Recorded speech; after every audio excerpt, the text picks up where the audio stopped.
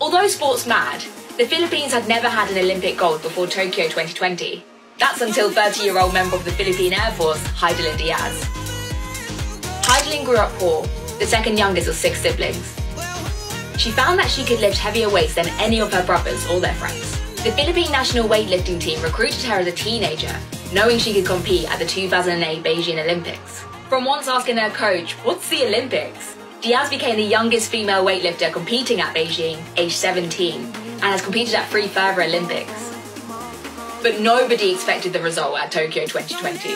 With a dramatic final 127 kilo lift in the women's 55 kg weightlifting category, Hidilyn took gold and broke two Olympic records, a Filipino first. Lesson learnt, do not underestimate Hidilyn Diaz. Holding a mini Eiffel Tower on Instagram, her Olympic days aren't over. Paris 2024, she's coming.